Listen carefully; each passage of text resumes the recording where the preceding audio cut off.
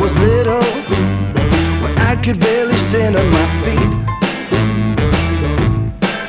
I did a puzzle and a riddle from my castle in the middle. I was free like a bird, watch me. Now I can be a captain.